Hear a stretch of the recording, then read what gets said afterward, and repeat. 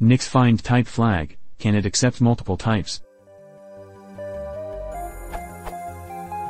I want to use find for getting all symlinks and regular files.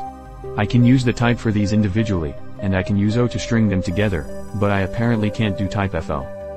Is there a way condense this command? It's pretty burdensome. Find type L name node dev exec ls law, plus O type F name node dev exec ls law, plus.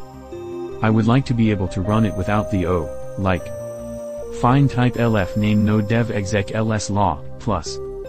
The man page seems to indicate this isn't possible, it doesn't say anything about extra type flag arguments, but I thought I'd ask anyways and try to learn something. Note the files have no guarantee of any kind of reasonable extension naming structure, so any regex-based solutions probably won't work.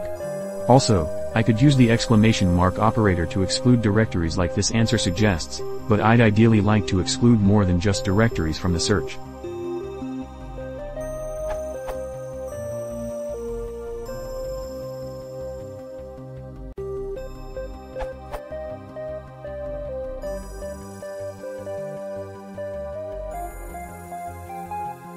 Note that on the find command, there is a ls switch which could replaces the exec call, keeping in mind that find can be slow to begin with, but having to create a new process for each found file does use system resources better utilized elsewhere.